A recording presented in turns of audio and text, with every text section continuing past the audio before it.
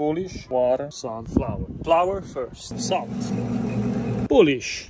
Turn around the machine, speed one, mix everything, and uh, let's add just half amount of the water. Save this water till everything gets together. Remember, the secret is uh, how to make the dough, not the recipe.